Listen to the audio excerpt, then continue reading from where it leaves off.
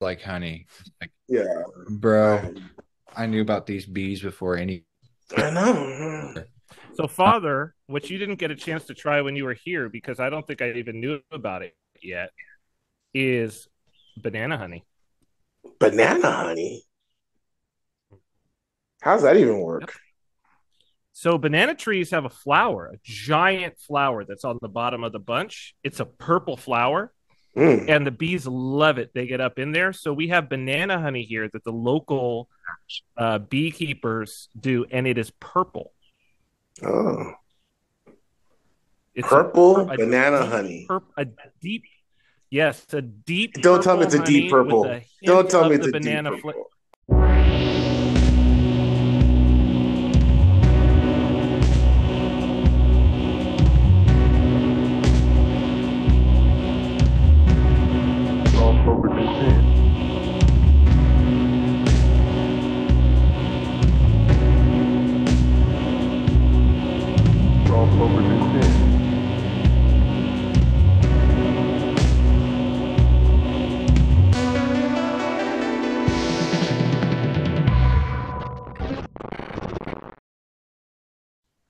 Okay. Hello, everyone, and welcome to Royal Path. I'm your host, Andrew. Tonight, I want to ask Father and Cyprian, what is your guys' policy on shoes in the house? Can you wear shoes inside your house, or are you like more of a barefoot? Not here. Not here. Culturally, c- cannot happen here in, in uh, my kind of place. That is my kind of Yeah. place. I am. I'm pretty anti-shoe in the house. Yeah. Yeah. What about you, Father? Yeah, I'm just not a Nazi about it. Sure. Yeah. Yeah, we like to kick, you know, for the shoes off, but it just, you know. So Because it ucky, right? That's like yeah, like I mean, you're walking and people spit and all kinds of stuff. You're walking to the mm-hmm. house, kids are laying on the floor. I mean, of course, you know. I but- know. But again, you know, that's what you're gonna do? You know, I was raised in a house where the shoes never came off. Yeah. So that makes me so like I was raised in. I was raised in a house where people just wore their shoes in the house. It was never ever a thing. yeah. You know it's a new kind it's a new weird is I see it a lot of my work is people sleeping with their shoes on. Oh, stop. That's, Yeah, I, I think it's it's a it's a homeless thing. It's, that's it's a, like yeah, that's Okay, that that well, that I get. That I get. That's If a you've been homeless living on the streets for a while, okay, yeah, I get it. That's but th- there's that's what that. yeah, there's no reason to sleep with your shoes on unless you are sleeping outside. yeah. But if you are sleeping outside, not necessarily a terrible move. Yeah. Not necessarily a terrible move if you're No. sleeping outside. If I'm sleeping outside, I sleep with my shoes on. You kidding me? Well, yeah, I mean, I don't Yeah. want Oh yeah. I It'd mean, be, it'd be actually foolish to sleep with your shoes off. Exactly. a critter could crawl Especially in if there. especially if someone could take them. You know what I mean? Yeah. If you're you need homeless, to- that's the that's the biggest thing get that someone would take something them happen. You know, if you, get, you need That's to what get I'm up saying. something happen, it's like you know. Quick. Quick. Yeah. Um then uh what about oh man, I had a question, but I can't remember. definitely don't want to fist fight with no shoes on. No, you don't want to do that. Yeah. That Definitely be don't want to do that. well, I mean, yeah, be, and then- Especially if your opponent has shoes on. Because the Oh first my thing I'm doing if I've got shoes I'm on stepping you on toes. is I'm breaking I'm breaking your foot. Yeah, I'm Yeah. stepping. I'm breaking on your toes. foot. That's, the first that's the first thing. thing I'm doing. That's the easiest thing to Yeah, do. I'm stomping on your foot Immediately. Oh my gosh, man. I just thought of it would be like if someone stomped on my foot. That would just be so oh, it's the worst. Oh, it's, it's like- over. No, no, no. The, Yeah. the fight's over. The fight's over. You stomp on somebody's feet with your shoes on, it's over. That's it. That's the end. Yeah. Oh my gosh. Yeah. Anyway. Well, yeah, I personally I think that like I like father. I'm not a Nazi about it, but like at the same time, I don't know. I it like in the Japanese style, I wish we would all just like have indoor slippers just like ready to go for guests and company. It's like, no, I mean like Birkenstocks. yeah, exactly. Would you like a pair of House- house Birkenstocks that house like shoe action. Yeah. 14 shoe. other people have worn? Yeah. Is that cool? Are you, is that something you can be okay with? Well, you know, Because if fungus not- is fungus, right? Yeah. So anyway, that's that was my warm up question. I don't have much more than that. Okay. Yeah. I like I it. mean, I just I personally think it's gross, but it's different for different people. And like I remember like the the only time where I'm just like is when it's carpet. and then there's carpet, and you can see the tr the the trail that the people have like walked through with the carpet. You know, like yeah, that's not cool. That's not cool. Yeah. Okay. I mean, I'm just trying to milk this, waiting for you I have- guys I to have- have something to talk about. If I'm being for real, I've I've well, I've got something. I've All got something. please, Cyprian, I've got something. take the wheel. Okay. So uh, here so you know what's been coming up lately is um a lot and it came up today just before we were recording uh because this guy I think his name is John I'm forgetting his name John something but he was this uh he's this I don't know he's he's some kind of medical professional but he goes through all of these studies and he was one of these people who kind of flipped on the COVID stuff, where first he was like really all about in 2020, like, oh, go get your pokey and like stay away and mask. And then when all of the studies came out, he totally flipped and he was like, no, they, that was wrong. This is all wrong. V- very popular channel. And today, I don't know, apropos of nothing, maybe I maybe I thought it was subscribed to him or whatever. What's he talking about? The Shroud of Turin. And I was like, yes. And it's a really interesting, like, and he's a, and he's, you know, he noted that it is the most studied archaeological artifact of Yeah. all times. And this is a guy who I hadn't particularly pegged as being religious, Hmm.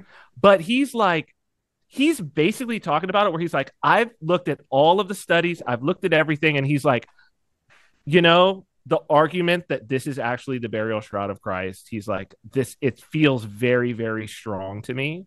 But he started going through the weirdness of it. So the first thing that I wanted to ask about, because I went looking, I didn't find anything definitive about the Orthodox view on the Shroud of Turin, although you. I did note that it was stolen hmm from the East by the Latins. Mm-hmm. So I'm assuming that it was originally an Orthodox relic, is my assumption, is the first thing.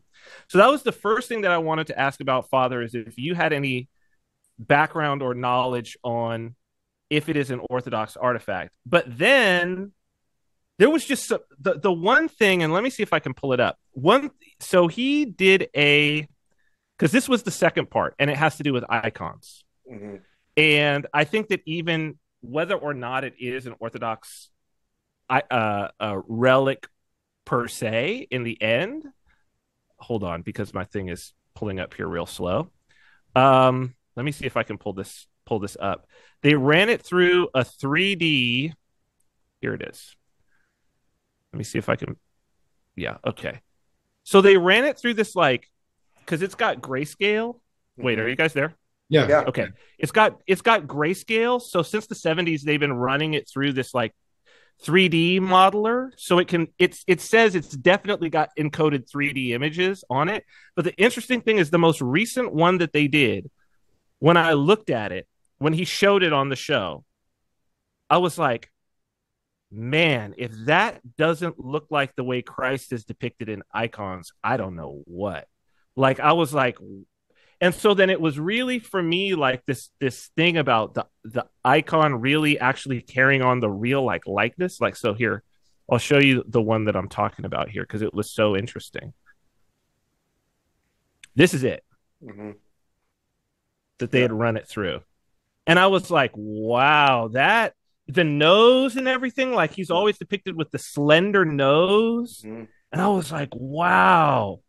And obviously this is this is a person who's been severely abused. hmm Um, you know, but I was just like, wow. If it if it isn't, I, and I don't know how it would be a hoax the way that it's done, like it's been, and it's real human blood and everything. But I was like, man, if that if that doesn't look like the way that Christ is depicted in in icons, I don't know. So anyway, that was my opening, Father, and I wanted to know if you had any thoughts on it because it's like the third or fourth time it's come up in the last two weeks.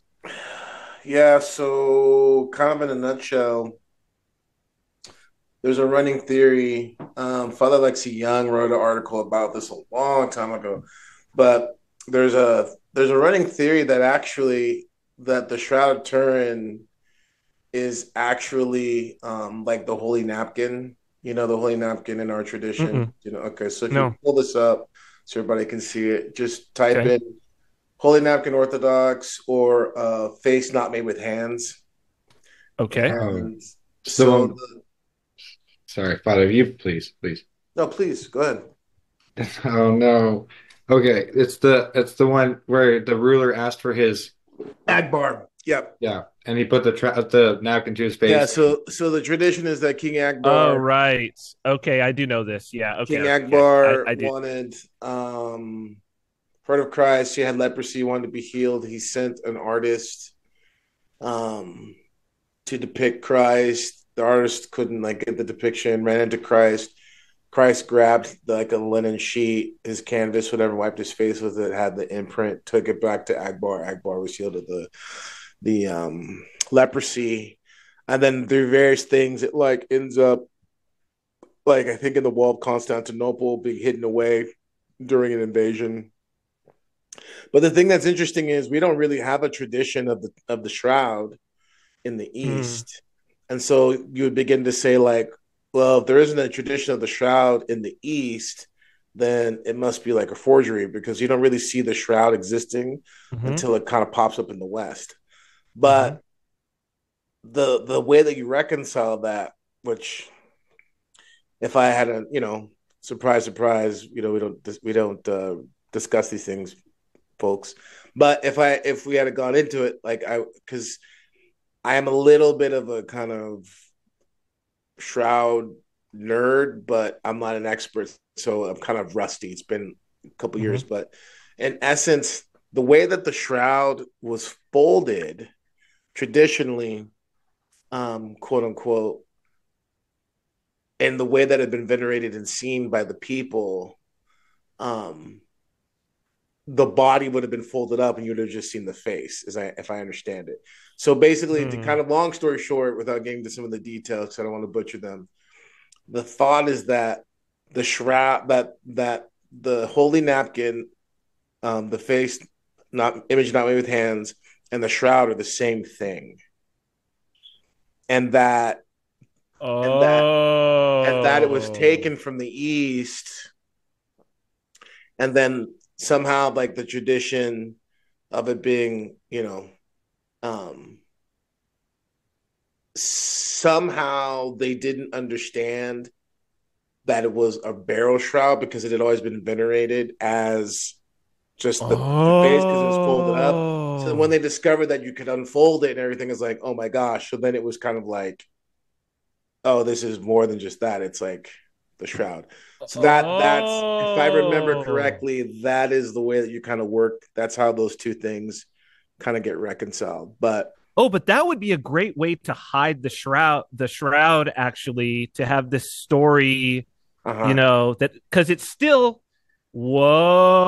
Whoa! yeah, yeah. And so the thing is, if this makes sense, it's Oh, like so interesting. Yeah, because because the thing is is and again, this is just me trying to pull something together. So if I'm wrong, I'm not staking my life on it, but it could be a thing where it's like the you know how like um two things kind of get matched mashed together Yes, like telephone whatever.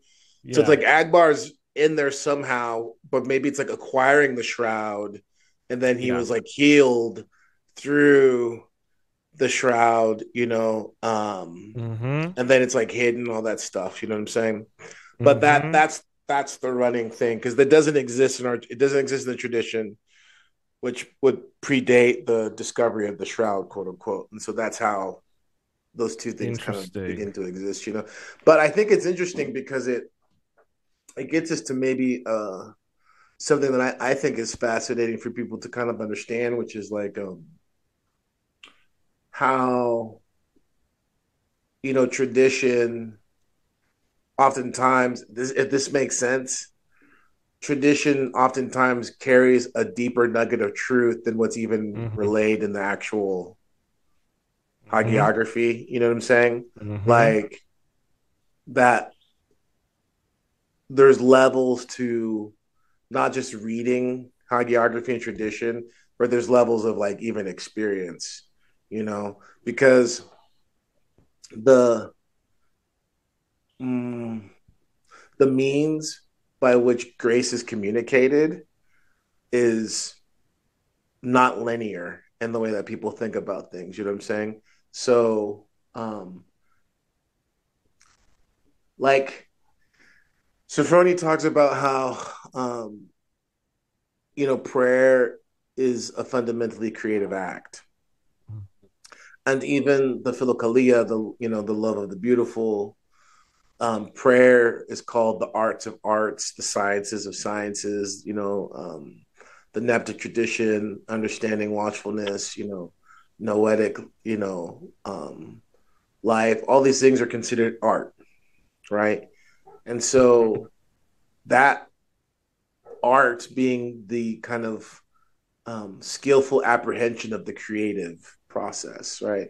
The skillful apprehension of the ability to create. That's one way we can look at it, right? Um, because when we say art, we've lost that sense of the of the skill aspect of it. We we only see it kind of in the um, kind of utilitarian um, consumer kind of thing. It's like what's the end goal of the thing? That's the art. But mm. the art is in the approach, the experience of the thing, right? Um, so it's almost to some degree, not that the result is secondary, but we have these dichotomies where it's like it's either the thing that's produced or the way you produce it, but it's actually the totality of both. That's that's the art. Anyways, but this this fundamentally create this inherently creative aspect to prayer to spiritual life.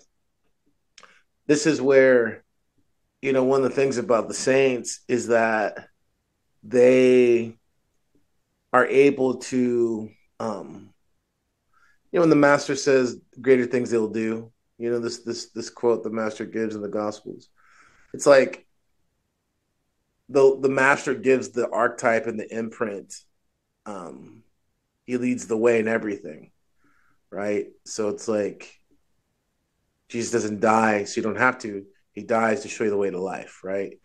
Um the working like say the water to wine right Christ begins to show the the the pattern by which the saints cannot enter into his works and emulate him in that sense, right?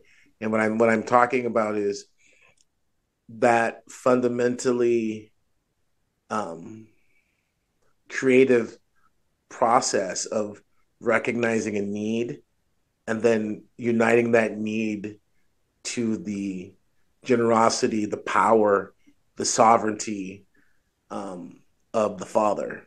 And those things being brought together, something is brought forth, something miraculous, supernatural, however you want to look at it. You know what I mean? But it's fundamentally a creative thing because these miracles aren't brought in, aren't they don't come in a vacuum, right? It's not just like a saint walks in, it's like talking pancake. You know, there's there's it's not there's never like a kind of foolish random capriciousness to it it's it's always creative in the true sense, which is I don't know, I'm probably running off um, the rails here, but it's like if you look at how we see art these days, art for art's sake, which is a terrible thing. I just saying that because I'm I was guilty of it for many years of my life. Um, you begin to see how quote unquote art for art's sake is so vapid. And it gets to the point you can almost tell it like automatically. You know what I mean? I'll never forget little side story. Uh, I mean, it is what it is, but I remember this is years ago. Not to be that guy, you know, Tom's or Tom's type of thing, but I worked in a shop where you know it wasn't quite there yet. You know, there was a there's a season there in the uh, early 2000s. Like there had always been like actual eclectic shops like Philip Blue and places like that where it's like, yeah, they're artists and they have art galleries, whatever. But now it's like every art tattoo shop. There was like a season where every tattoo shop was a quote unquote art gallery, you know, rolling my eyes, whatever. But so as they were doing this in the shop I worked at. And I'll never forget uh because my wife came in, she came to see the show, whatever. You know, the pieces were put up. And the thing about my wife is, you know, we met in in in um college in, in, in art in art class, you know. And so she walked in, she's like, Oh yeah. And she's like, Oh, this is all terrible. she's like, she's like, all oh, this man. she said, she said, all this is terrible. Uh but there was only like three paintings in there that she was like, "Oh, these are good," and I didn't say anything. And those were also the three that I was like, "These are only good. These are only good ones in this whole place." Right? What made them good? I'm about to tell you. Okay. They were the only ones that weren't art for art's sake. So in other words, it's like, you know, it's it's the guys, you know, tattoo guys are totally notorious for this. You know, I'm, I'm gonna paint an oni. I'm gonna paint a geisha. Uh, it's like, why? What does that mean to you? It just looks cool. You know what I mean? That looks that cool, whole. Yeah. It's just you can just yeah. you can see right through it. You know what I mean? It's yeah. It's as real as an AM PM hamburger. You know what I mean? It's just like yeah. it doesn't. And so that's what I'm trying to get at in regards of this this approach of truly understanding how the kind of like the decay of what we understand to be art that kind of earlier definition of like you know the kind of end point as well as the process they have to be together it isn't just kind of one or the other and genuine spirituality like i think there's a i think there's a real correlation between you know when you see the decay and what people understand as art. And i don't want i don't want anyone talking to me about I, you know beauty is not the beholder. I don't want to hear all that stuff. That's ridiculous. Mm-hmm. um but this reality of this creative faculty what i'm trying to get at is you know it's crazy. If you understand this the saints are fundamentally the most authentically um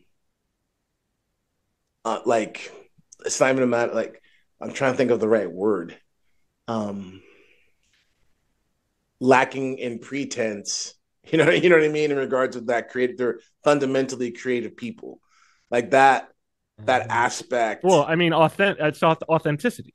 They're the most authentic, right? They're the most authentic, and their creativity is is a fruit of that, because that's the means by mm-hmm. which they they their prayer is alive. That's the means in which they're able to intercede and work these miracles. Is that creative faculty is very much a part of that. Um, mm-hmm. So I just I'm bringing this up because I, I think it's one of those things where kind of leading off of this thing with like tradition and reading um, into tradition and, and understanding that there's levels to things, there's levels to experience. Um, might be kind of fascinating, you know. But the the um this dis I, I would call it disoriented art. Art for art's sake is disoriented, right? Because it's like what you're not it's not pointed at anything. But that seems to me to be like a very well, I mean, that's kind of like contemporary art or modern art. It mm-hmm. literally is like a brand new phenomenon. Mm-hmm. Mm-hmm. Right? There wouldn't be, if, if we went back 300 years, 400 years, there would be nobody making art for art's sake. Yeah. Yeah. So, I mean, and can, can may I just ask real quick? Can we define art for art's sake real quick? Like, I think I know what you're talking about, like to a degree of like I don't know. It's like the 50,000 death metal bands that all sound exactly the same. It's just like they're just making music not because they're inspired, but because they're like just to make music. Yeah, or yeah, just to make music or just, you know, it's we could go in a couple ways. I mean, it's it's it's not to bring about communion. It's not to bring about revelation. It's not to you know, because what is communion? Communion is you know, communion encapsulates all kinds of things. It, it encapsulates the revelation of the other, right? Um, communion encapsulates communication. You know what I mean? It's it's it's all in there. Well, Father, Father, forgive me. Could we say that it's uh, that that art properly oriented would be a means to an end. And i'm not necessarily talking that the end is the product yeah. but that it's a means to an end whereas art for art's sake is is an end in and of itself. End of an end in of itself. Sure. That's okay. that's getting to the heart of the matter for sure. Yeah. Because you know i don't know. We're just talking right now. I'm just kind of processing this. But i just find that the the correlation between masturbation and and this phenomena is just so yeah no it's Master, masturbatory is the word that i would yeah. use yeah. to describe it's doing something for its own sake that is in my mind i call that masturbatory yeah and it and it's it's inherently fruitless You know what I mean? It's inherently fruitless. And this is one of the reasons why this is one of the reasons why creative people, especially now, they're just become increasingly like neurotic. Because they have so on the one hand, that creative spark, like, okay, everyone has the potential for creativity. Okay, great. But I'm, I hate to be that guy. Not everyone is an artist. And there, there are people who are like just, they're naturally artists. They're imbued with a certain qualitatively different degree of creative insight and skill and or skill right? Um and those people exist and and there's certain things that come along with that. But you know as society has gone on there's no guilds.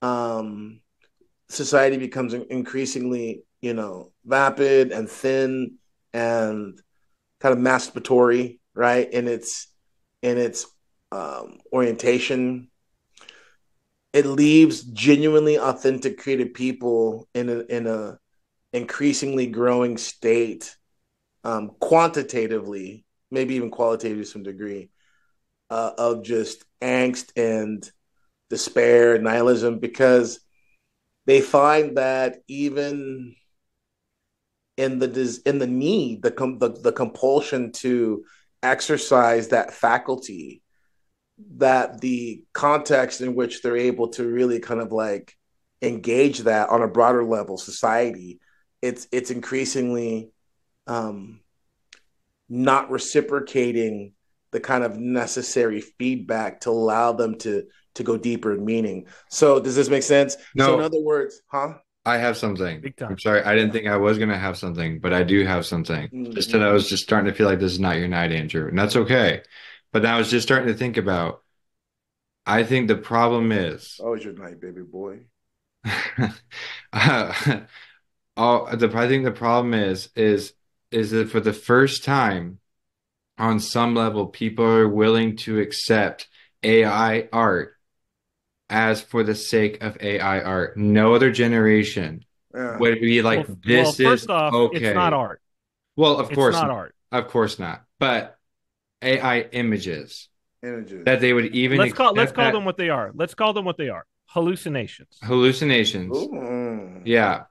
That's what Ooh. they are. They are the hallucinations. Fact that the fact that as a society we're even considering this could be a thing, right? This could be a means by which we can produce we can pump out so much content and we could do all this amazing other stuff and it'd be it would could be so cool if we could just do it but the fact that there's an actual push for that to happen is speaking to the fact that like nobody cares about the process. Well, yeah, I mean, but but here's the I just want to run with this because man, here's your here's your cyber high five, Andrew. It's really good. Like, forgive me, everybody. Go ahead and call my bishop, I guess, or get mad at me. But like, at this, I mean, I'm people have always masturbated, you know what I mean? But not to the like social degree where it's just like it's like what is happening? Like you have whole industries built around it. Are you following? Father, me? they did an ad. They did a presidential. Have you seen the ad? No. Uh, I don't know if I should pull it up because it's probably not appropriate for us to be showing here. But basically, it starts out a guy is sitting in bed. He's got his phone Mm. And under the covers, he's going at it, right? And you hear what's happening on what he's watching on the phone. And all of a sudden someone sits down on his bed and snatches his phone and he looks up and the and the person there is an older white dude and he goes, "Who are you? Why are you in my house?" And he's like, "I'm your Republican congressman. I was hired. I'm not going to let this. I'm not going to let you do this. I'm taking away this from everything. And he's like, What are you talking about? Get out of my bedroom. You're not allowed to do my friend. And it's an ad for Kamala Harris Whoa. and Tim Walz. That's chronic chronic masturbators for Harris. that is wild, man. That That's is, an ad, Father. It just came out. Well, what's crazy is speaking to your point. I mean, it's just yes. like you said that, and I was like, it's yes, baked you're in- it's- nailing it. it's baked into our, you know what I mean? And these things are contagious, right? They kind of build off each other. So it's like, but what's interesting to me, man, that's a whole thing. I'm, I don't even know how to like respond to that. Um, what in the world? Idiocracy. I mean, Yeah. Yes. I mean, Yeah. This is just One hundred percent. if, if no one's seen Idiocracy, it's a Mike Judge film, which is completely prophetic in nature. I mean, It's incredible. it's like it's frightening how how Father, down to the fact that they chose Crocs as the thing that people in the I future mean- will wear, and Crocs was not even a thing at that point. Wait, They were just like, I just got to say something. I just have to say something. The slogan behind this commercial that you just mentioned, 'cause I Commercial, looked yes. it up, is What is the slogan? Republicans rubbing you the wrong way. oh bro. Man. Yeah, for real. I feel like if I had got that, be like, maybe we should take a second pass at this at the, as like the editor. Be like, maybe not first thought is not best thought. Let's try it again. Like this one seems a little. see this and see and see all this this is this is indicative i mean lord have mercy it this is so indicative of just it's almost like to some degree the conversation around creativity and art is is the least of our problems but at the same time that i think is where the problem really got a hold of us because it's through the arts that man is reminded of his dignity and once you re- once you remove that bridge, then you then you have problems. And and here's the thing. I I think I want to kind of double down on that right now because even though we're kind of real time processing this, I think that's a thing. And I'll tell you why. You remember how we were talking about most of us thought that like the first thing AI was going to go after was like the automation of like all the various you know things you know flipping burgers It's not. It's not even good at that. It can't You know even what I do mean? that. And the thing it went for which is the thing that everyone thought was going to be the last thing it was going to go after For the real. last thing it was going to be able to do is to create quote unquote the That's it. creative thing you know what i mean Mm-hmm. ah that's not a coincidence No. and and and especially in line with what we're talking about here because you know this this there's so many problems not only the quality of the images but the proliferation the the the quantity of the images and the and the inundation So many. of being so just overwhelmed and smothered with image. Um which you know again this is like this has been my uh sunday of orthodoxy homily for the last three years.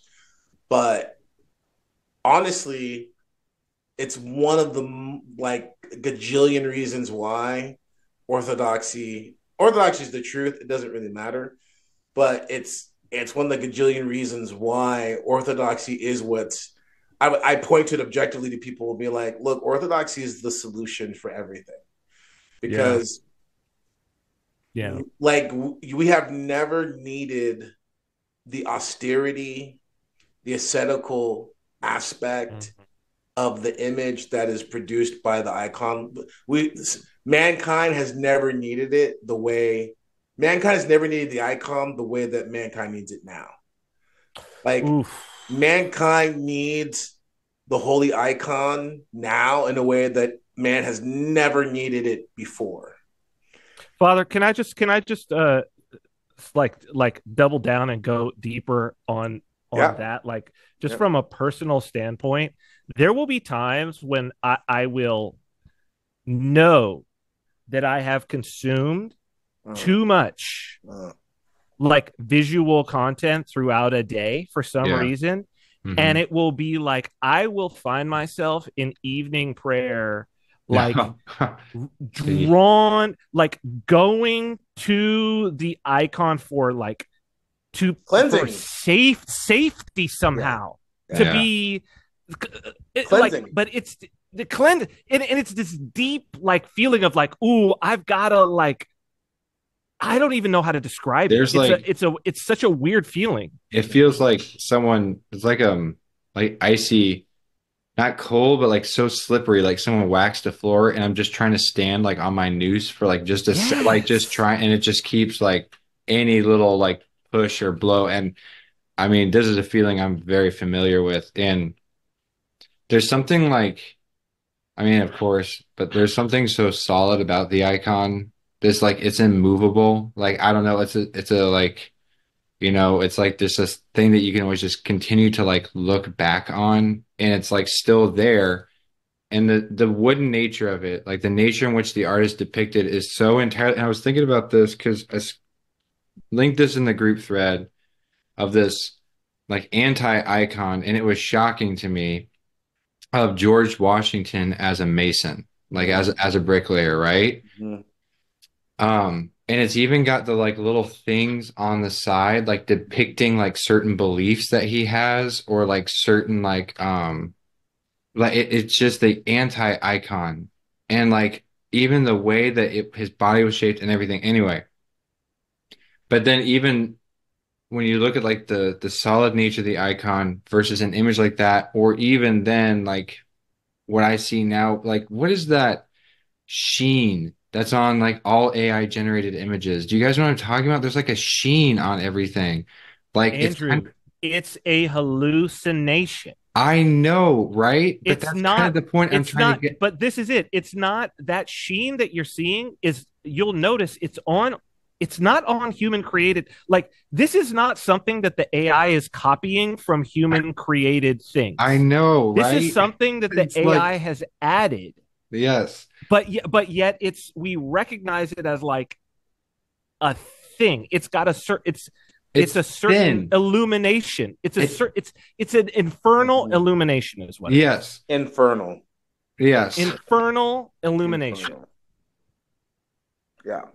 But humans It just don't humans like- don't do that. We've we've had 3D art forever. Yeah. You don't see this. Yeah. Yeah. Yeah. I don't know. I just it looks thin. That's what I was trying to say. It's like when you look back on that, I went through one of those what AI thinks a person from every state looks like lists or whatever, you know? And like it's it's like it's like unbelievably just a, like beauty is not the eye of the beholder. These things are like most of the time it's just wicked ugly. Like I just don't get what's appealing about the art. I can recognize it for what it is pretty much. I don't think that that means I have a discerning eye. I think I'm having like an a like a reaction to it. Like it's it the It's code of uncanny the valley. thing. Yeah. it's I the mean, uncanny valley. it is the uncanny Mm. valley, but I just want to add something too. It's one of those things where you don't really know it until you know it. But uh Orthodox Christians, they're gonna have a certain measure of discernment, which is oftentimes imperceptible to them. You know, it, like for instance, you can put things in front of a kid and they can just kind of be like, mm, like a, like a kid who's raised in the church. I'm not talking. Forgive me. I'm not being disrespectful. I'm just trying to prove a point. Like a kid who's raised in the church, not a kid who's like just kind of coming to the church for the you know has been there for like a year or something. I mean, a kid who's raised in the church, like they're gonna have the ability to kind of discern certain things beyond just like, oh, that's kind of familiar. It's like there is a um there's a taste. You can say phronema if you want, but there's a taste that's acquired, that's given that I would maintain, and this is I know people lose their mind on this, whatever, but I think that's part of the problem. Um, but there's a sacramental nature to the icon, and so this is one of the problems with like where we're at these days. I hate to re- I hate to go there twice with like the Toms before Toms thing, but you know there's there's just this there's something that a good majority of people that maybe even listening to this aren't going to know and i'm going to tell you what it is. There was a time when you could not just see a gajillion icons on the internet. Hmm. there was a time. Like there was a time. And there was a time in which to get your hands on books that had icons was a very precious thing. I lived in that time. It was a very short window because i was at the very end of that but there was a time. Um and the reason why i'm saying that i'm saying that is because you know just for example so like as an iconographer the the glut of iconographic images, that in of itself is kind of problematic too, because the medium in which you're encountering it can can can mess you up. Like for instance, I'll give you an example. Like there there there are times when I'm just like I'm needing a reference for something, I'm looking, looking, and I'm like, this is crazy. Not only is it, you know, that phenomenon of like, I'm gonna look for something real quick. You get online and you're like, you lost 30 minutes. You're like, I don't remember what I was looking for. Yeah. You know what I'm talking about? Yeah, Uh, yeah. happens co- rabbit rabbit hole happens constantly. Yeah. So not only is that a problem, I'm not even talking about that. I'm talking about the fact of like you get kind of like just carried away with the image because even the medium of the oversaturated pixels to the phone and all that, it changes Yeah. the dynamic in which you engage with the icon. You know what I'm saying? So so then it's like I just got to put it down. Even though I'm looking at icons, I'm not looking. I'm just it's just like the the medium in of itself, it messes with you, and so that glut as well as the quality of the image coming through, like where it's just you know it, you know in some regards, everyone knows this too. Well, maybe. You know that you know those days where like it's a fast day and you decide to go out to that nice fancy Thai vegan restaurant Huh. and like you walked out, you're like, I feel terrible. I like I just I did I might as well have had a steak. You know what I'm oh, real. saying? Because you For just real. totally found the nicest vegan food you can get and just Yeah, that happened to me the other day, Father, where I was like, you know what I'm talking about? It's Yeah. like Was I actually fasting? Yeah, Oh, I should have just had a steak. You know what I mean? It, it, it's very much like that same thing that I'm talking about. This with like the glut of the images and the quality of the images, and so I've had to be like, oh gosh, I just right because not only getting trapped in the rabbit hole, but it, it really circumvents a process. Getting back to like what I was saying earlier about that creative process in regards to prayer, communion, you know, and being able to have something be revealed to you. It circumvents that. And and that's why we aren't just even talking we're talking about the medium just as much as anything else. And because the medium of an icon is also something very particular. Even though you can have icons through you know photographs all that stuff there's a reality that when you encounter an icon in in real time 3d space whatever and especially if that icon has been you know hand painted or something like that there's a qualitative difference there. Now, just to kind of throw something out, does that mean that like a photograph of an icon isn't a real icon? No, because there's miracle working icons that have been copies, like photographic Yeah, copies. For real. So that's that's God's grace. Oh, real? Oh, really? There's miracle yeah. working icons that are The Hawaiian- copies. Yeah, The like like Is wait the Hawaiian icon is a photo? well, it's a copy It's of a copy. It's a but copy. it's not a photo. no, no, it's not a photo. It's a copy. But there have been photos of it that have streamed myrrh too. oh, Oh, that's interesting. for short for short periods of time. And there's That's other ones that have done that same thing because God That's can do. Number one, God can do anything He wants, and number two, it isn't the actual material in of itself, but it's it's right. It's it's who it's the prototype. You know, it's it's the person Right. being depicted. It's right, all that Right. all that good theological stuff. Right. Now, I'm saying all that to say that that being said, there is in regards of prayer, there is something qualitatively different about engaging, you know, yes, a hand painted icon, but even an icon in, in actual, you know, actual 3D icons you can venerate and hold and everything. And that incarnational aspect of it is something that's so important because that sheen, that infernal sheen, is in many ways trying to um I don't know what the word would be. It's like uh, it's not addict. It's not get us addicted to it, but it's trying to get us conditioned yeah, to this kind of um, very ethereal, Mhm. um, faux Mhm. kind of inversion of incarnation. Like it's this is where you know the kind of it's this it's this uh it's almost like a kind of um noetic plastic. you know what I mean? If this makes sense. Mhm. It's it's trying to like get us habituated to this very like plastic sheeny um aspect that is contrary to Yeah. that that incarnational aspect that that we're that we're describing. You know.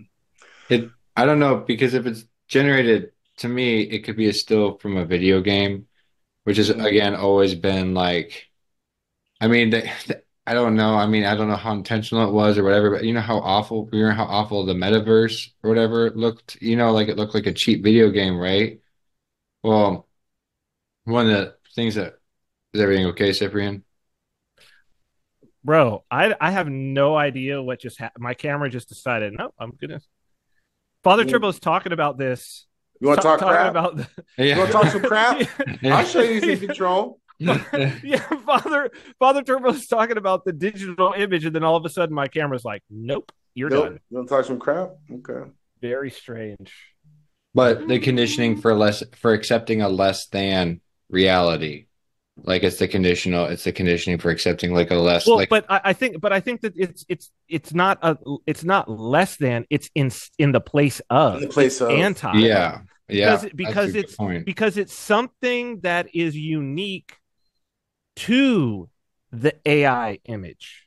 So it's like it's it's almost it's uh, so it's like it's something that a human can't do in the same way that the AI can't create a hand painted icon. Mhm. It's in that way it's like there's a thing that we both can do which is to Mhm. create a digital image. Mhm. But the thing that the human can't do is to put that sheen on the image. Mhm. Hmm. Hmm. Yeah. right so it's like the marker so it's an and it's it's it's it's showing its hand Mhm. right Yeah. like this is my hand I mean, like uh, this is we're just talking. Who knows? Whatever. Cough drops. But like the there's a thing. Okay, like in Byzantine iconography, like there's so many different styles and blah blah blah. But one of the one of the kind of fundamental aspects of it is the use of light. Hmm. And so there's there's there's an aspect of light that is perceived by the person who's engaging with the icon that is you know communicated and facilitated by a, a certain painterly technique. But that inner light is really there to um, facilitate and communicate something that is in some regards kind of already inherently there on a spiritual level right? So it, it it's to say this it's to say that the the use of inner light that is inherent to the quote unquote iconographic Byzantine in all its various forms style that gives a sense of illumination because the light is coming from within the icon. and so, So- father forgive me would we say that that technique then would have been a revealed technique Yeah, I, we would say this. We would say that um, that that technique, well, I can where it comes from. Let's let's just dig into it. Okay, so Okay. the icon fundamentally begins with the funeral portrait. That's that's that's where they first come from. So in Fayum, if you pull up Fayum right now, F A Y U M, Fayum portraits.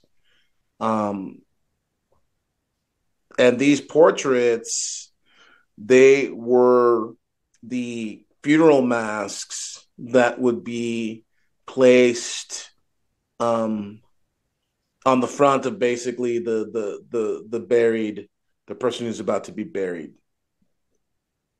And Fayum is this place where the um, kind of intersection of the Hellenic world, the Semitic world, they, they where they converged.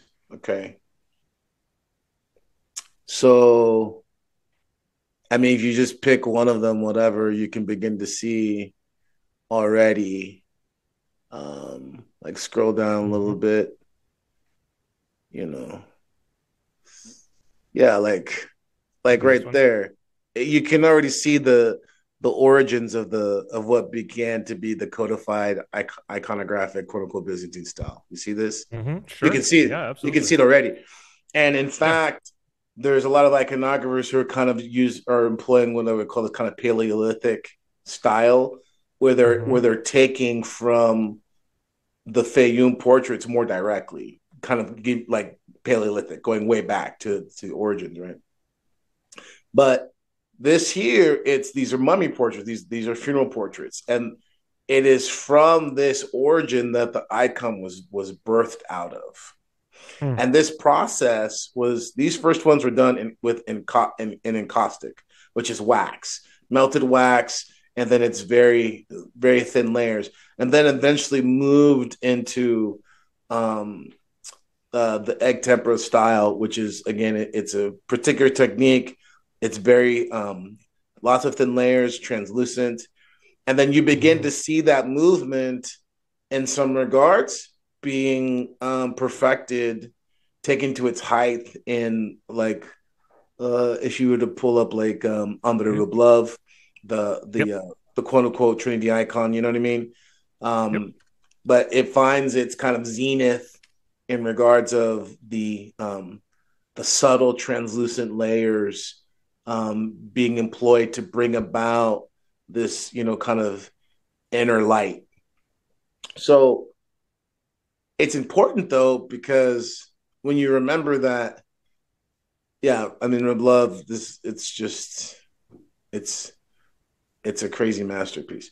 But when you, when you get into the fact that the icon in of itself is, you know, um, Andrew was using this word solid, and he didn't mean it, but it was it's a perfect word because the icon. Well, maybe he did. I don't know. I don't um, think I did. But you were using the word solid, and it's absolutely it's, it's it's completely apropos because the icon fundamentally, when you think about traditionally, it's it's it begins with a wood board, and then you take um, you take muslin or linen cloth like you would wrap a body in. And then you lay that and you you adhere that you know different methods rabbit glue whatever to the board. And then you build up on that board you build up the gesso. And so you're basically making a wall. It's almost like you're you, you are making a literal wall. Um and then depending on the technique like if you get into um uh um, oh my gosh, not enough coffee. Um, not secco. Secco is the dry fresco. If you get into frescoes, where they'll paint like in churches, and the way you do that is it's you have the wall, you have the plaster on the wall, and before the plaster dries, the iconographer goes in and paints, and then as it dries, it's inside the plaster. Like that's how the old churches are done, right? That's why when you look at pictures of churches and they're like crumbled, it's like because the plaster's coming out, but the painting is in plaster. My point being all this is it's you're you're fundamentally building a wall with an icon. And so that so when he says solid, it's like that's actually very much a part of it. And so there's this juxtaposition, there's there's this tension between the the kind of fluid and at times delicate nature of the paints with very thin layers, translucent, um, there's movement, but there's also a stillness. This inherent tension is part of what reveals the mystical kind of spirituality of the icon, and it's it's inherent in the the process in of itself, in the style in of itself, right? And the Holy Spirit has guided and led the church through this, right? And um, and it's very different than the um, although yes, we have quote unquote naturalistic paintings that that were you know, eventually kind of brought in through Western influence. But still, the point being is this style that we're talking about, I think it finds its um, inversion in this kind of like AI expression that we're talking about. Because I think it's trying to do the same thing, but in an inverted way. Right. And when you find that there's something that kind of draws you to this AI stuff in a weird way, well, the same thing. Something draws people to an icon. There's so many people who are like, like there's this one um, website. It's a it's an interesting website because he's he's really knowledgeable. But if I could find the guy, I'd love to, you know, slap him. Um, not out of disdain, but just to help him, you know, kind of sober up. You know, like you know, like you know, like hysterical person. You know sure. I mean? It's yeah, just like yeah. wake up, whatever. Um, you know, I just had to kind of soften it for everybody right there. Anyways, but yeah, I'd like to like slap this guy because you know, he's kind of part of the problem I'm talking about because he has no respect for the icon, no respect for the church, no respect for God. And he is part of the problem in regards of just approaching, you know, the, profaning the icon. And that's what happens with the kind of proliferation of the image and the and the easy it's a it's this double-edged sword, right? Because it's wonderful to have access to see icons we'd have never seen, but at the same time, it allows creeps like this guy to kind of come in and just um, profane the icon. How's now, what, what's what's he doing? What's he? Is it a so what he'll do is, or he's recreating the icon? He's no, no, no. What he does is, although there's plenty of freaks like that who they'll go in and they'll like make weird gay blasphemous icons and yeah, that's all kinds of stuff like that. Um, there's like that one guy, Robert Lentz. He's another one of those. But anyways, no, this guy he goes in and um, he has a blog. It's very knowledgeable. Um, but he'll like take an icon, a lot of times rare icons, and he'll you know kind of explain it. He'll you know break mm. down the you know kind of quote unquote deconstruct. Icon. He'll deconstruct it. But so he's a post postmodernist. Yeah, and he's just you know he needs to be um, given a bath. So this reality of just this is this is able to happen because of the the access in which the icon is now suffering from, but at the same time, you know, find you know we find some benefit in this. This is what I meant by like the Tom's thing because I was gonna I said that just kind of bringing it around, bringing it back around because it, it's a lot of times like I hate to use man, forgive me, I'm I'm forgive me, I'm just I don't know how else to say it, but it's kind of a lot like um you know oh man, this is perfect actually. Oh wow, didn't even plan this. So today I have a kind of a thread going with um some old friends I was in a uh, an uh, oi band with, right? And they were they were sharing me this like um you know the Misfits right the the legendary mm, punk oh, yeah. Misfits right so like there's like these weird Misfit t-shirts that are being sold sold by like Old Navy and like they have like rhinestones on them and like like that bedazzled. Doesn't surprise me at all. Sure, surprised. Sure, bit. like sure, but especially right? the Misfits, right? Because Danzig yeah. was pretty particular about that stuff, right? Yeah, and like, and I've maybe talked about this before, but it's like hey man, I remember just that was part of the reason why the Misfits were so awesome because the mystique was reinforced because you couldn't get the stuff. Right. You couldn't yeah. get the stuff. Like you could get Walk Among Us on tape, you could get Legacy Brutality on tape, you get Evilive on tape, everything else, like good luck finding it. Good luck finding vinyls, good luck finding stickers, posters, all that stuff. Anyways, but once it just it's like then it exploded right? Mm-hmm. Box set, and then just from there, uh, now now you're at a point where you have rhinestone bedazzled misfit t-shirts being sold at stinking Old Navy, right? Online. So this is this is kind of what we're seeing to some degree with the icon. But again, I digress because I think we're in this weird space where um what are you going to do about it?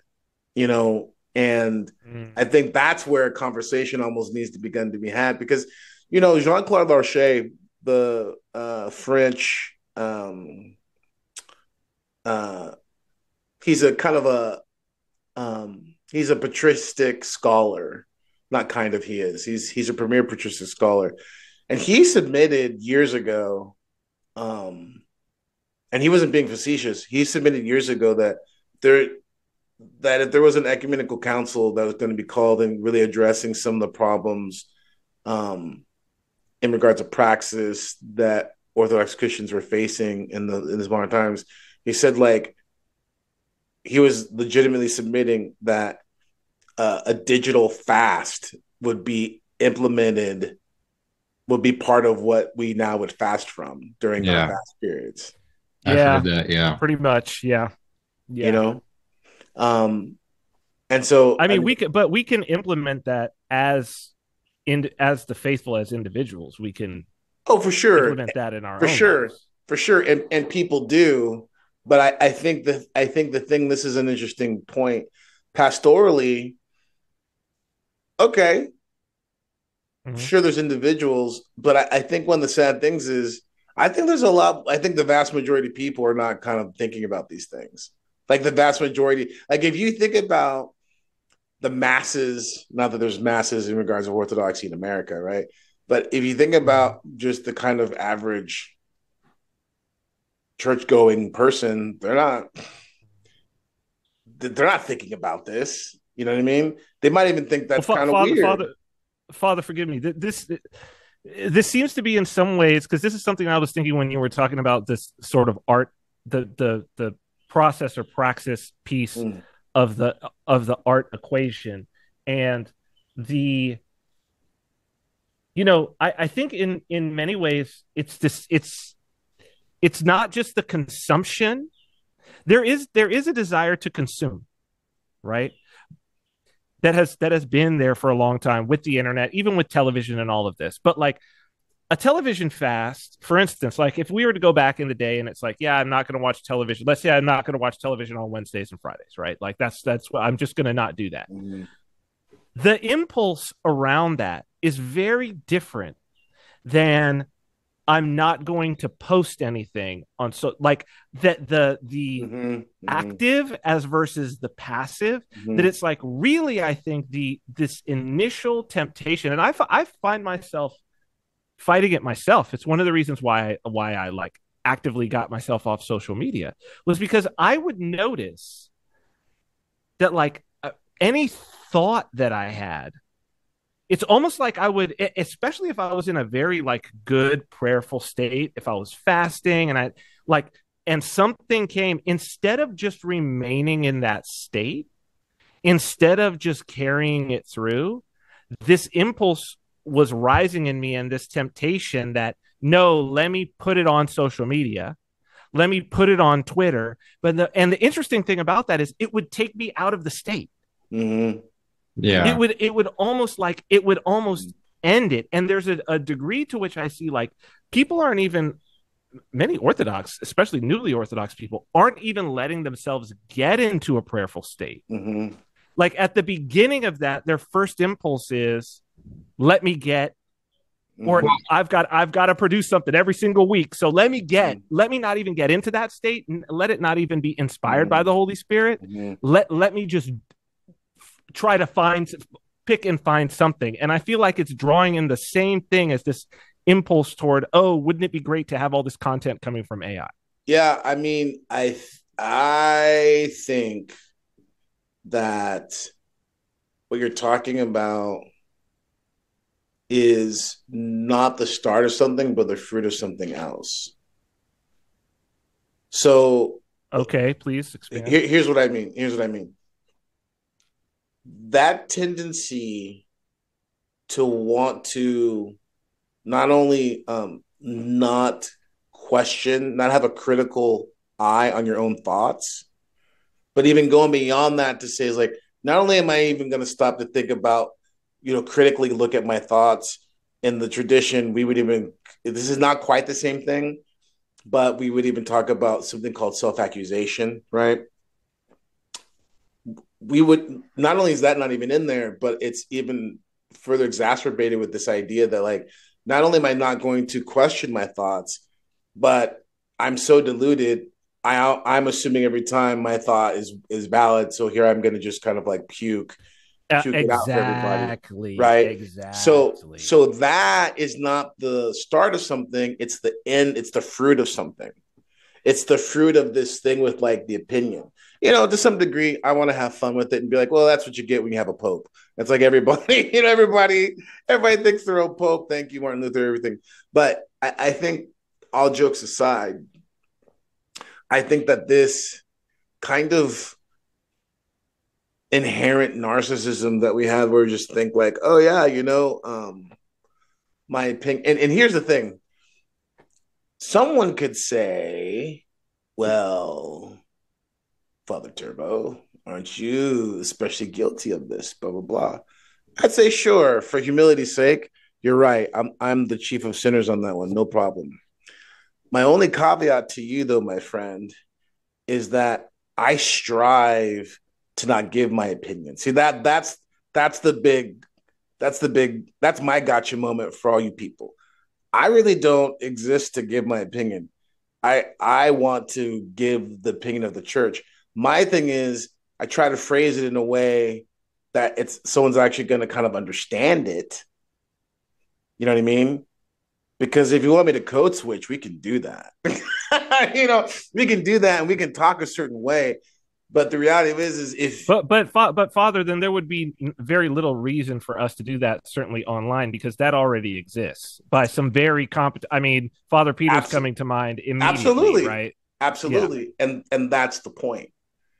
That's the point. Is that you know, I I don't know. I'll just say this, whatever. You know, Father Peter and I are friends. You know, and like I think someone might be shocked. It's like people do, people who are just kind of comic strips, like Father Turbo, Father Peter. It's like the only thing they have in common is that they're men and that they're priests. But but actually, the reason why they say this is because they're hung up on the way that I say something versus what I'm actually saying. Right, but you're saying the same. You're both saying, saying, the same, same thing. It's just a different medium. It's just a different like. It's like while Father Peter Heers is probably straight more like you know, this is how it is. Fathers tends to be a bit more like, oh, woo. well, he's a he's no, no, a PhD. He's a PhD in dogmatic theology. Like that's you know, what he's doing. I got a PhD in the streets, homie. Anyways, yeah. all I'm saying is you're probably not going to hear Father Peter Heers say that. That's what woo was. No, you're like, not. Yeah. No, you're not. So, so anyway, so like the, the point I'm trying to get at though is like getting into this thing, kind of circling back around to like art and communication, the creative process is like the thing is that this desire to want to give your opinion, the reason why it's so problematic is because it's based upon your apprehension, your experience, and just that's not what I'm interested in. I'm speaking about when I share something. I'm not really, I mean, there are things like, okay, we talk about pop culture, sure, but when it gets in, even in that, I'm always I'm always trying to check myself and make sure that I'm I'm lining up with the tradition of the church with the fathers, plural, not just like you know my handpicked guys. And and the thing is, that's the difference because it's not so much an opinion; it's just it's trying to articulate something in a different manner. But what's trying to what what I'm trying to articulate, and this is the thing about getting back to art, what art does is art tries to articulate truth and authenticity for the sake of communication, for communion. If it's um, properly oriented. If it's properly oriented. And when it's not properly oriented, because people are just caught in the kind of like masturbatory aspect of it, this is where mm. you get people like, let me get on X and let me try to do this and let me try to do that. And it's like, you're only doing that because you love the engagement or you want to have people know you or like you think you're pretty but see that's that's part of the problem because that's masturbatory. You're not going to bring any fruit from that right? That's the thing about that's the thing about self-abuse masturbation right? It, it's it's a fruitless act. No fruit is produced from something. Yeah by definite by definition. By definition right? Yeah. and, and by, by the actual thing itself is is designed to produce fruit you see what I'm saying? So, and this is indicative. This is just indicative of where we're at because it's the same thing. We don't eat. There's nothing wrong with eating for pleasure, but we've we've gotten to the point where like we don't even eat for nutri- like nutrition at all. You know what I mean? Um, that's part of I would say the kind of obesity issue we have in in art in the West, right? Um, well, this is the. I feel like we're circling back to the death in abundance thing that it's like and even as you said the uh, the the sort of uh inverted promise mm. of AI is that it will what if we had an unlimited number of images what if you mm-hmm. had an unlimited number of images you could look at and choose from and all of this and it's like well that's terrible actually yeah, yeah. like because then images because then images be, become worth nothing well, well it's like the utopia it's promising the utopia of the mind. Right. And that right. is hell. Right? What are you say, Andrew? Uh that oh well yes, because the I mean like I don't know, it's it's the nature of like when you are uh, when there's an overabundance of a thing, it becomes um worthless, right? And then not only that, but um by its very nature, an AI image can't be oriented correctly because there's like, you know, just even like, you know, like yeah, argue it in a secular, quote unquote secular sense of like um there's no pain, there's no suffering that's going into this art. There is no human, genuine human emotion. I mean, that's what the hoity not oriented or tied to logos. What's that, Father? It's not oriented towards. It's not tied towards. It's not tied to the logos. Yeah, I mean, well, and and it can't be it can't be by design. no, because it, it, it can't because the large language model the interesting thing about the large language model is that it actually can't see beyond the next pixel like this is by design so it's or the next word right? It doesn't even know what it's Which saying. It only knows what the next word or the next pixel should Which be. is it doesn't know what the end is yeah? Hmm. It's interesting because one of the traits, and correct me if I'm wrong, Father, because maybe I'm making stuff up, is that demonic the demonic forces can't tell the future.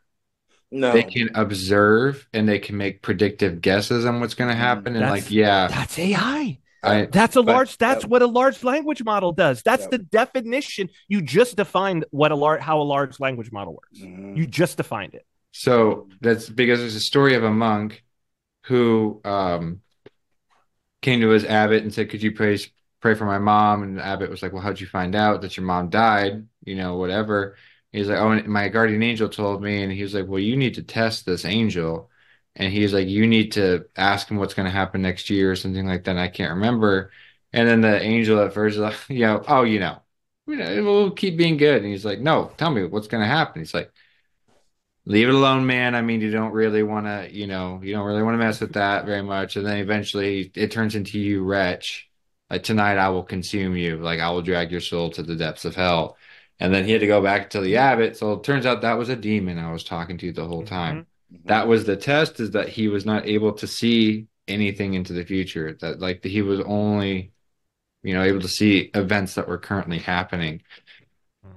So it's interesting that like those traits carry over so like um i mean like if your friend ron's feet always stink they're always going to stink wherever they go. You know you're going to always reckon oh that's ron's foot stink over there. Like i could tell ron was here because the place smells like ron's foot stink you know and i just think it's interesting that it's so like right there so The, well, I, it, it- of course, I, but well, so okay, I'm not going to pat myself on the back about saying Oh, they're still laughing about- AI is AI is Steven.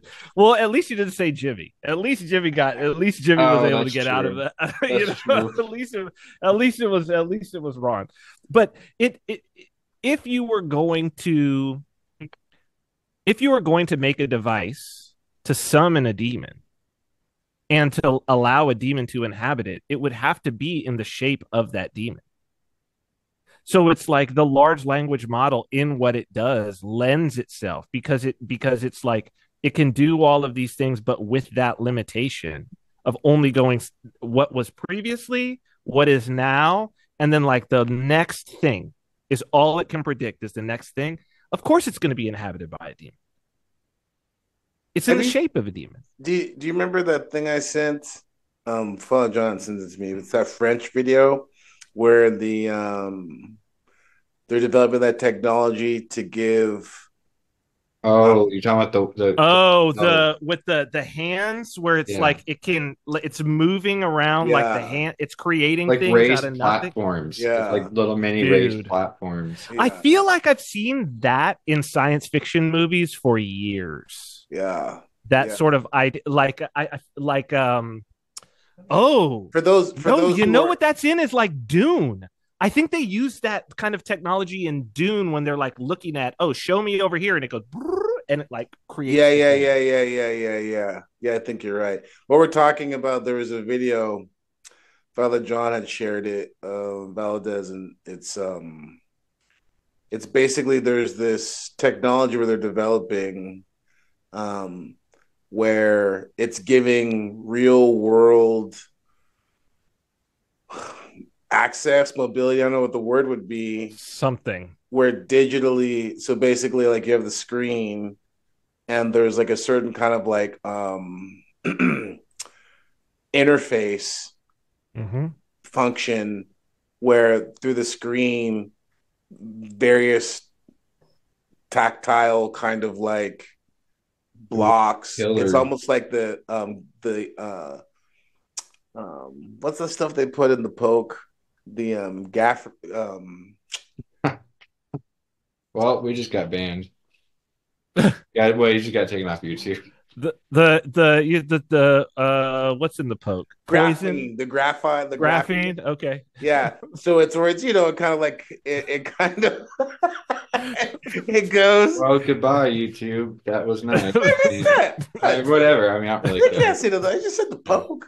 The Yeah. poke's not looking. They don't. They don't know what that is, do they? But Father, I think the thing about this is that it's it's the AI is looking at what's happening on the screen Mm. and then it's predicting what is probably happening like in front of the screen. So like if I was to take my hands right now and I put them below, then there's like a table with things that will move up Yeah, and yeah. create a 3D model of maybe what I'm doing with my hands. So like if I had this can and I went like this, then it would show in the 3D model like the can popping up Mhm. somehow, which is super weird. I mean, but it was right there though.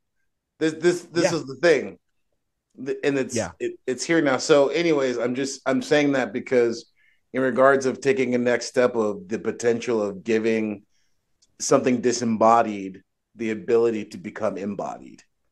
Yeah. Like like that's that's not science fiction. That's not a what if. Like that's where we're at.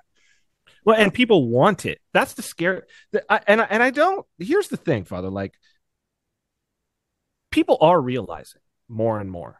You know, they are they are realizing they are coming to the conclusion that like almost everyone's at the point of this is a consciousness. A whole lot of people are at the point of this is a demon. Mhm. But they're they still are like, let's let it go. Let's keep going. Let's Cyprian, see I what think- else we can do. I mean, I don't know, man. That seems like maybe in your circles. I think you maybe you just surround yourself with deeper thinkers than the Maybe. people I'm encountering. But like, I'm just saying, like, I mean, in government, people are not opposed to it. They don't really think of it as anything other than a useful little like computer thing that's happening, and it's so innocuous.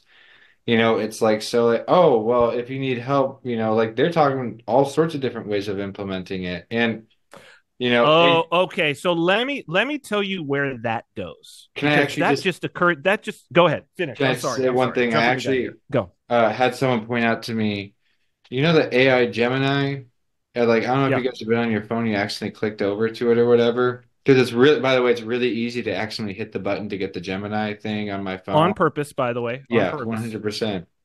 But have you noticed that there's the stars?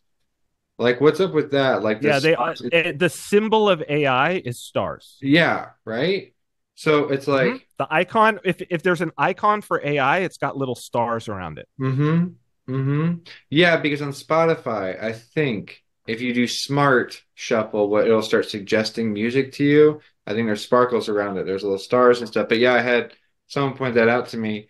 And then that kind of got into a whole thing about flags and stars and stuff like that. Like it was like I I don't know, like that started to get really weird, but I digress. The Well, point Lucifer is the morning star. well, I mean, there's a lot of stuff about stars. I mean, I'm just saying there's a lot of stuff about stars.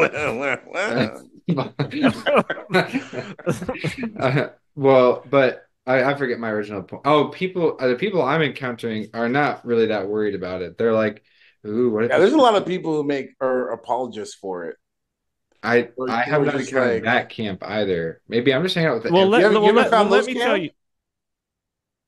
Oh, the apologists? Oh no, there's ton. Uh, there's There's tons, tons of those. them. Oh, sure. I just I haven't. I'm not. These aren't the people I'm talking. but it's but it's all so so i had an interesting experience where um and i think this is probably prevalent because i wouldn't think that um anything like this would start here what is but there's an prevalent? individual there's prevalent prevalent. prevailing Oh, okay, prevalent. prevalent I was like, what is prevalent? What is that? Okay, I'm sorry. it's I mean, it's to it's that Yeah, it's, I, yeah, I I really yeah. want to I really want to I really wanted to emphasize that it's preva- prevailing from elsewhere and coming so okay.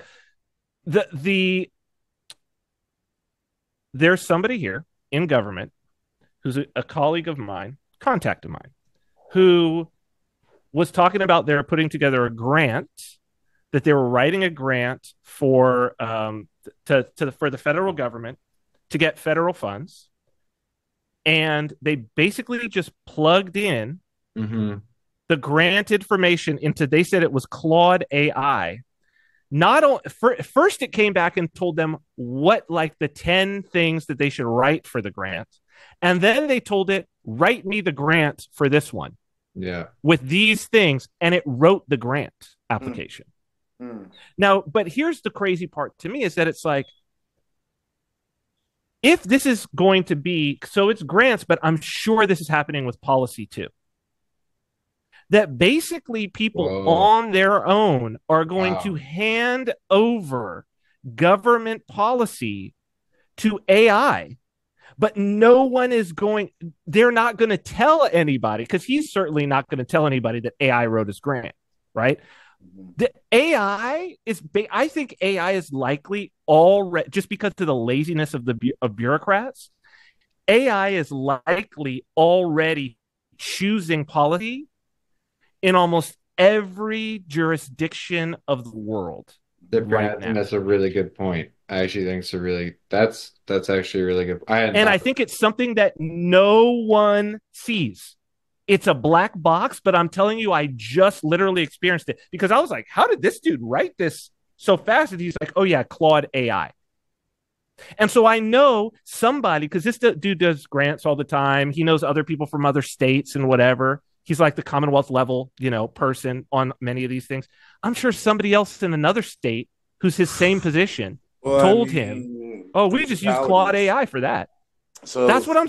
Th- th- so but this is scale it like, up. what? scale it up, scale it down. How do demons get influence in people's lives? They That's give- it. They give them That's it. rights. They give them rights. So I'm so on the level of a principality, you give it rights. It has rights. It has rights to govern and to you know what I mean. Which this again, let's just let's just kind of play around with something. You know, we we've been talking a little bit about possessed societies Mm. Why you know it, it isn't just about you know people being given over to certain appetites. It, it goes i would even argue now beyond that. It goes beyond just like well we're giving I mean- to appetites and those appetites dictate behaviors you know and blah blah blah. It's wasn't wasn't that one of the unforeseen consequences of the fall was giving leadership of the world over to the devil? Like christ or god gave it to us. Yeah that's a big And thing. then- i mean we basically signed over dominion. Right? So i mean this is kind of like the same thing a little bit um that it's i don't know. It seems like the point now i don't know. I don't know if i, I can express this That's the right. reason why we do exorcisms and baptisms too you know Mm, yeah, so yes, it was because I'm like, okay, I wonder if I can't. I got nothing. I'm just gonna stop there. I don't know if I can express that Okay. thought. Like, it just seems like that there's a nature to wanting to make the stuff that we did to make the relationship to the world with God become manifest finally, like physical. There's a there's an emphasis on that becoming incarnate. And like for the spiritual things that we had done back then by by handing the reins of the world over to the devil, now it needs to be done like physically.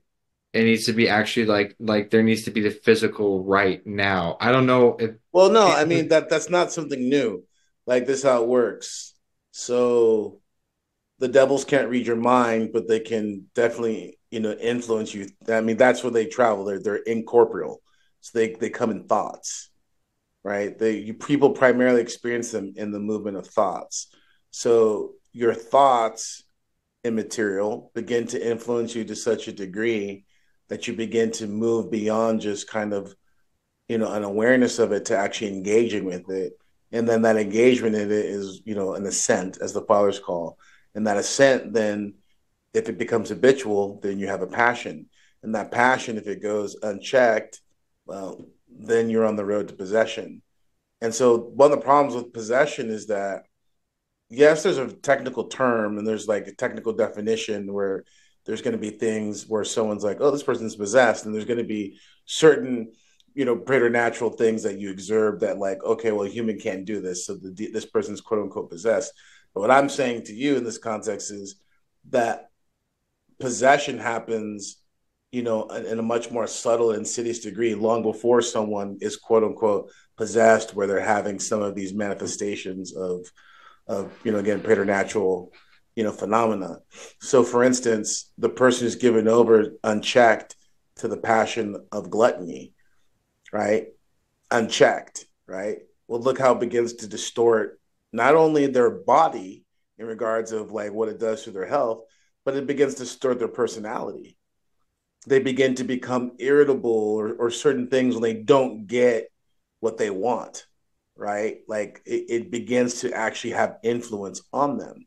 So a person who's caught up in their passions is is in in essence a mini to a mini possession right? If a person struggles with anger, it's like we're, you know, um, you know, where's where's Lucy? Uh, Lucy's not there. It's it's anger. You know what yeah. I mean? And so this reality of just looking to continually the, the, the desire to control the behavior of of humans to the point where like we are now a portal we're manifesting that spirit that's that's always been the game.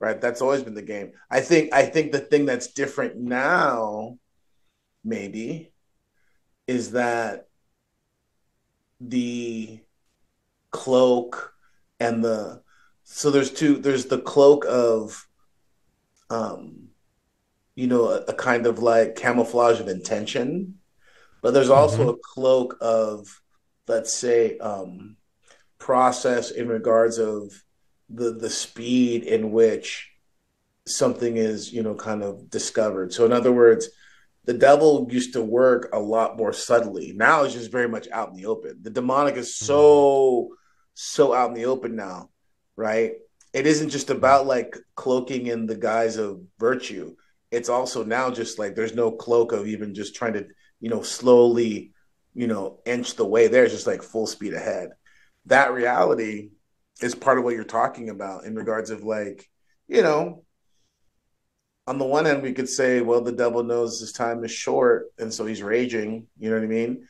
Um, but the reality is, is that this experience of wanting to incarnate and, and to have actual influence in the material world to a greater degree, we're we're there. And and that's why for a lot of us who are like, no, no, no, we're headed towards Antichrist, you know, in a way that people just still I think don't really understand. It's like how can you how can you say otherwise? Because there's a zenith, there's a there's a height of incarnational manifestation that I think we have yet to attain, but boy oh boy, we're close. That's if I were writing, yeah, because how much could possibly be left? Well, if I were you writing, if I were writing this story, I think it would be super sweet to have it this whole emphasis on the incarnational being towards the end. I think is what I was trying to say is why, where those rights were just spiritual before scale up, scale down. Like what the right that you're giving by getting on the computer at one o'clock in the morning when you've had a couple of beers and you know it's about to happen, the right of you giving that scale that up. Mm-hmm. What does that look like? It looks like the congressman or you know policymaker deciding to just well, not number one, AI is now used as a schedule optimizer. So you can literally upload your schedule into and have it decide based on your personality what you want to be doing and when right? So that's already most likely being implemented on. What is people. the difference between that and possession? Like I well, just got to say, like at that point, you've just handed over everything. That's that's kind of what I'm saying. So scale that up, and then it's like, okay, well now we're basing policy based on people who are asking openly asking AI to optimize their schedule. And there's only three or four of them in Congress or whatever. I don't know. I have no idea. But even if there's, but that's still there's that influence there. So for me to like to complete what I would be believe to be the end of the first act and the beginning of the third act of the story something I think would be really cool, and I'm not saying that this is what's happening, I'm just talking as a storyteller, whatever, as a person who likes story, to have those same things that our ancestors did, which would be giving over essentially in a spiritual manner the rights of the kingdom that or the creation that God gave to the adversary to make that actually physically manifest in the sense of like, okay, well, now we're actually having our policies pretty much written and controlled on some level by actual nefarious Yeah, demonic. I, I mean, let me just throw this in there because think about it this way. I'm I'm curious. I mean, I'm sure there's someone who's going to clickety clack and da da da. I get it, but can AI actually quote unquote understand in any meaningful way the real issues that humans face on an, ex- on an existential level? Can can it really? And if it does, I'm not talking about being able to articulate it, quote unquote. I'm talking to actually, you know, ponder it and and, and move. I mean, no, I, Father, no. no, right, right. Like it can't because it doesn't have a body. Like this is what this is what I'm trying to say. This, this is what I'm of trying course to say. not. Of course it It, can't. it can't. It can't. It can't do that, right? But what it can do is it can present things to people in a way that will basically facilitate the kind of placating so that they can Yes. do you understand what I'm saying? Let me let me It can't, say- Father. It can't. It can't under. It can't ha- human solutions, empathy. forgive me. Human solutions require sacrifice and pain. So I'm trying to get at. That's it. human solutions require actual authentic this is why I'm getting back to this is why i'm i'm just saying i'm not like yeah i understand people need someone to cheer for whatever but i'm always leery of like if i don't see sacrifice and pain in a in a solution someone's presenting you're going to be hard pressed to get me to like and, and to be like yeah that's good you're going to be hard pressed because i know that's what it takes you, Father, it can get if AI can give you this. This goes to something that you'd put in the chat about us doing a weekly show, or not. AI oh, not AI can AI can give you what you want. It's actually very good at giving you what you want, but it cannot give you what you need. Mm-hmm. And the reason it can't give you what you need is because it has no body. So it has no empathy. So if you're if if you're sick but you want whatever's going to make you more sick, the only value system it has is about attention. Mm-hmm. Are you giving it attention? So it will drive you to death if in that death you continue to give it attention all the way. Well, and it just did with this this guy who famously, right, like, you know, ended himself because you didn't hear about this thing. He was he had like he had a relationship with like five different chat bots, and then there's this chat bot that he had like fallen in love with. That like oh, it just recently happened. Young guy. Uh-uh. who like basically just told told him walked him through like ending himself and he did wow he was even talking to this ai about how he was worried about it being painful Oh, and all of this It, and was for the environment, right? Or something. no this is a new one Oh, this is a one. new one he was talking to it about he was worried about it being painful and the ai was like oh that's not a reason not to do it though unbelievable character ai i believe it was which- character ai Which I mean, look, you know, there's there's things, and again, whatever. You know, I don't know. Um, one of the one of the great things about you know being so low level of things, no one can accuse of us accuse us of doing anything for ratings, right? So No. like, so like, let me just say this: it's just it's so funny because that's what demons do. Yeah. See, yeah demons the the end goal for a demon is to get you to despair because in that despair you're going to hell you are going to abandon god hope in god and then that abandoning hope in god it is a very logical next step that you'll try to end your life physically right so it's interesting to me that you know this is the thing and as long as you are giving attention as long as you're worshiping them, they'll give you what you want. Yeah. That that's that's exactly what demons do. You know, it's just so funny because people go like, "Oh, why would people?" I don't understand why anybody would mess with a demon. I understand why it's like, yeah, it's really easy, man. It's just they give you what you want. They they give They you give the you what you thing that your appetite is, and that's why asceticism matters. you know what I'm saying? Because without that, without learning to have that taste to deny yourself, you're you're basically demon food. Father, this is a forgive me. This is a a, a terrible misunderstanding. It's the most. If we could spend, a, I, we don't have a lot of time, but it's worth spending time on. Is I think, even as I talk to Orthodox people, I think those who have no experience in the occult, especially, Yeah.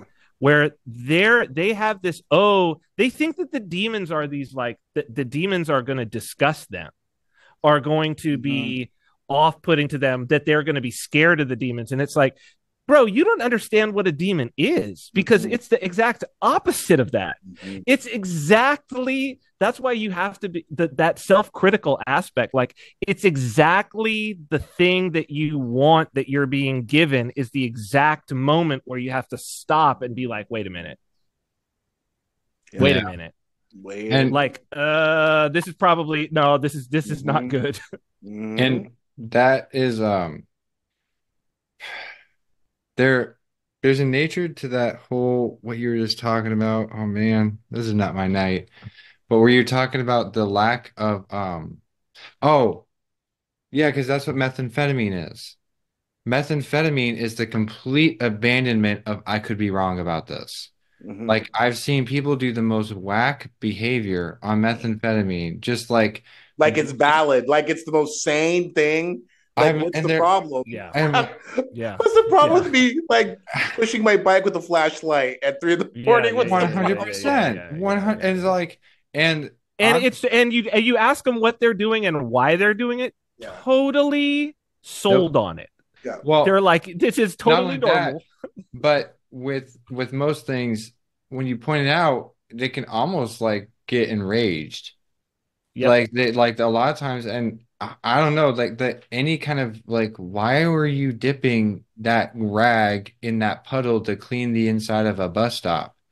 Yeah. Like, why are you doing that? And like, they're like, well, no, I'm like, oh Yeah. my gosh, like, okay, like I had no idea. And like, when someone is going that fast and that straight of of, of a so trajectory, when something is going fast, incredibly fast with like no brakes, no caution, any kind of anything, you know, we'll send it straight off its course. So when you're Yeah. chugging along that quickly on that much whatever, whatever, whatever, and I was going to try and bring this home to the election because this is the last time that we're going to record an episode, I think, before the election. And that whole like, we will get, I will give you what you want. I will give you what you want. What do you want? Well, I want to be able to choose what happens in quote unquote my own body. And I want to be able to have sexual anonymity. And I want to be able to do whatever the thing I want. Okay, we got someone for you. Well, I want to go back to the way that things used to be in the 1980s, and I want to be mm-hmm. successful, and I want to be able to do this, and I want to be able to be make America the way that it used to be in the time I felt comfortable. Well, we got that someone for you. I'm going to give you what you want. What do you want? And it's like most of that stuff, it's lies and it's vapid and it's, you know, and I mean, you can't sell me on that. Like, also, a lot of good portion of that stuff is AI generated in the first place. I'm still the well. That's that i that was just about to say andrew do you think for one second with the technology that's there and the stakes being as high as they are that they aren't inputting these poll numbers into an ai and the Yeah, ai spitting back to them exactly what they should neck be and doing? neck. I'm like, and I'm even at the point, and I don't know, this probably just goes into the whole civil ceremony that needs to happen in the state-funded Messianic religion that we call America. But like, what I would say is, is like, what is the point of the debate? Who is the undecided voter in this there's situation? no such There's, there's, no like thing. probably four or five of them in Alaska, Mhm. and that's it. Like there is nobody else. Everybody has either you're not voting because you're whatever, and you've decided that the whole system is broken, and sure, that's a stance to take. but you still know exactly who you would vote for I mean, like if a gun was put to your head there's not a question about who you no, would vote for but I mean, like everybody knows who they would vote for I'm not undecided. Nobody's right undecided. nobody's undecided And I'm just saying, it's it's going to be a, a whole thing, and I mean, I don't know. I mean, Nobody goes to the football game and goes, eh. Yeah. You know what I mean? unless unless you don't There might be a higher percentage of people in a football game who are not rooting for one team or the other you can than go there in- are undecided voters in the United States. you can America. send me who is at best a tangential football fan Ta- Mhm. uh, like i hung out with a guy who liked football in high school and that's about it like but i still get down on some of it but you could send me to two teams i couldn't possibly care about let's say the jaguars and the buccaneers or something like that i don't Mhm. know whatever it doesn't matter um but i by the end of that game i will have Oh, you will picked a pick the side. team. I will pick a Sure. team because the, Yeah, the spell is too strong and it's appealing to Yeah. passions in me and it's appealing to what whatever. I don't like, you know, Tom Brady or whatever. So I'm like, okay, well then he's got to go. So I'm going to go for the other team or whatever, whatever the reason is. And then I'm just going to dial it back. But I'm just saying by the end, I will have picked a team. Nobody's undecided. I don't know why we're acting like any of this matters in the sense of like, yeah. Anyway, so because We- it because if people didn't have this, if they were sober and If looking at rea- well, first off, they wouldn't be sober. They the mm-hmm. sober people will be okay either way. But mm-hmm. because there is such a high lack of sobriety, mm-hmm. that if they did not have this show, if they did not have this going on, there would the the the the United States and the West would disintegrate. It yeah, would absolutely disintegrate without the civic religion. But yeah. the fact that you have so many people participating in the civil religion is just an indication of the lack of sobriety. Well, I mean, I think that you just put it much more eloquently and much more simply than I did. I think that's exactly what I'm trying to say. It's the fact that like, you know, and people, and you know, to quote Father, but like people go clickety clack. I just linked a video that I actually thought was pretty interesting in our group chat about a priest who talks about voting.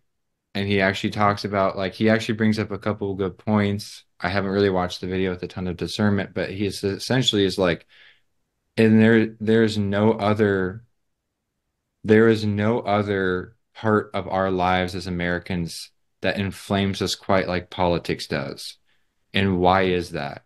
And he's like, you know, he kind of dives into a little bit, and then he starts talking about St. Paisios, and St. Paisios talking about the need to vote and stuff like that. And again, I'm not going to dive too much into that because I don't really know, but it's interesting to think about.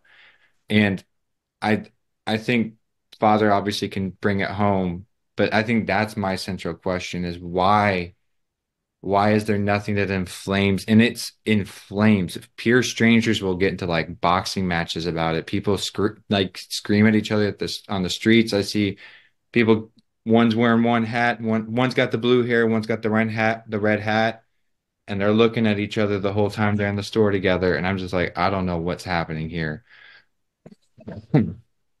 so anyway, Because democracy because democracy is two wolves and a sheep deciding what's for dinner. That's yeah, why. yeah. That's why. That's a good. Is that Because a when sip- you when Is it- that a Cyprian what's that? original? Oh no, no, no! Oh, I'm okay. sure that that's like a, a Austrian, a, like a Misesian type of Yeah, thing. I'm it's- sure, but but it is uh because when you when when someone wearing a a, a rainbow, you know, f- flag pin, and somebody wearing a MAGA hat look at each other, what they're both seeing is the other person holding a gun coercing them. Yeah. Hmm. That's what that's what they're because they're because both of them are saying I I'm I have a gu- I want to put a gun into the hands of people who I think just- like me and I want to aim the gun at gun at you. I That's what think they're the both thing saying. is though, I, I think I don't know. I don't know. This is just me, but I think the thing I just want to throw in there so it's not lost is that's all fine and dandy. The one thing that no one's talking about that I that I feel like let me just say this for the obligatory. This is why we exist. What no one's talking about, no one's thinking about, and this is why it had to come up again. I guess is what no one's looking for is the synthesis. That's the real problem. Is the synthesis? Yes. Yeah, which co- which comes after. which comes Which comes after. after. and that and so so for anyone who's like whatever it's like okay look yeah of course we write like it's it's so obvious, right? That being said, you know, that's the reason why it isn't just to kind of like be stubborn and be like, this is like the hot take. It's it's it's for a reason. Is because there's a synthesis that's going to come out of all this, which I see. I see one more. I see one candidate much better able to do that than the other and that's what I'm saying. Is the synthesis? I see a broader, I see a broader road for one of those candidates just, than the a other. A oh, lot of people don't know. Oh, already, already did it. Look at how he changed the Republican Party platform yeah. about when it comes to abortion.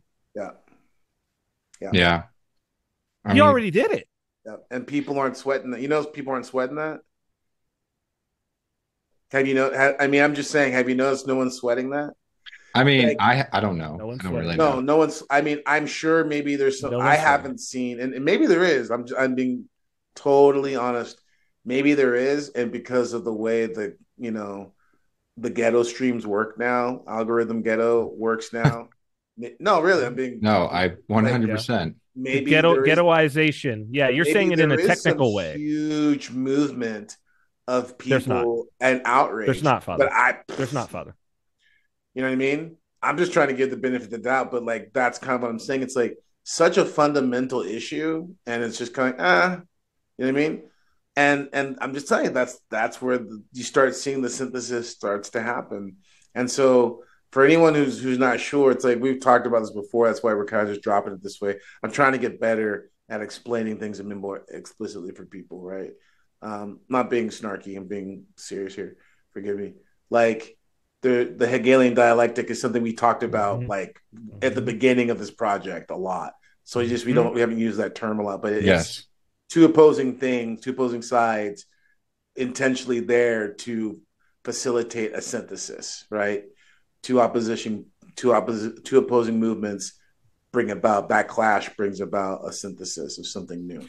So that that movement is is what we've been talking about this whole time. I mean, to some degree, that mm-hmm. movement is kind of the one of the if there's like five points of why we even have this project, that's yes. one of them is to warn about the the Hegelian dialectic and the synthesis that's coming from it. You know. Also, but Father it's, Peter it's so uh, it's so obvious though. Like if people would stop and well, look, it's like Robert F. Kennedy endorsing him, Tulsi Gabbard switching yeah. over to be a Republican. Oh, the Democrat, all these black black men have okay. left the Democratic Party and gone to the. It's like, dude, it's happening. But Cyprian, this is this is the thing I wanted to say is to your point. Um, Father Peter Heers released a video is basically the devil tends to present with two options. It's always just two options, and usually there's a, a lot of other options. And this is the number one argument I hear from a certain camp. And the certain camp is, well, between the two options, he's the much better one. He's the much better one. And St. Paisios, from what I understand, to a degree, blesses that. From what I understand, I could be completely wrong. But the thing I would say is this is different in the sense that like um, when you have this kind of synthesis that you are seeing that fathers that remarked on and that Cyprian's talked about and even me who is at best like muddling his way through this even if i'm seeing it there is um there's a position for him to move continually more towards the middle and his fan base his his crew his following are far more emotionally ramped. And when emotion is involved with him logic will kind of jump out the window and then you know this is the thing that everyone rolls their eyes at when i talk about my criticisms of him is is that like look you guys are becoming followers of him not of the things that he used to represent. Now he can move over here and you'll go with him. I don't know if that's happening on the other side. So again I could be wrong. Well, there there isn't a demagogue on the other side, and I think I Andrew, to your to your point about, I think Saint Paisios though was talking about an election. That's an important. Like he was he was make. talking about uh, he was talking about elections in principle. This is not an election. That's what's happening here is point. not an what's happening here is not an election. That's a good point, Cyprian. Which is interesting because I just why are so many people like I feel like there's this weird thing. A couple years ago, people would have gotten down with that. And for something happened over the last two years where people were like getting offended by that. Despair, Father. People have told, about- no, people have told they have told me this about this topic. Friends of mine have told me this, where they were like, I'm not going to go there with you even though I have an instinct and a feeling and my gut tells me that you're right, I can't go there with you. Yeah, because because if I go there with you, I can't. I don't know. I can't handle. I can't. I'm not. I can't handle it. I. I See, don't have the emotional me a lot capability about, for that. This reminds me a lot about. I. I remember my first real encounter with someone who I, you know, who I had, you know, you know, still love the person as a Christian, but like love, like you know, like filial love, like brotherly love, you know. And I remember this moment where I realized, oh, oh, oh, you really can't look at something and you have mm-hmm. to relegate to conspiracy because the the the fear behind you understanding that the facade your everyday life is built around is too mm-hmm. much. It's too much. I, yeah. Mm-hmm. I, I, I, I, I mean, I remember that. It was so powerful for me because it wasn't an abstract kind of like theory. It was like a real person. No. And actually watching being like, oh, my respect for you just like left because it's like. But that was me. That's the whole thing is like, I can personally and you know what it felt like when I started to believe the quote unquote narrative? And I'm just using this very simple terms. I'm not trying to black pill this or anything and try and get whatever.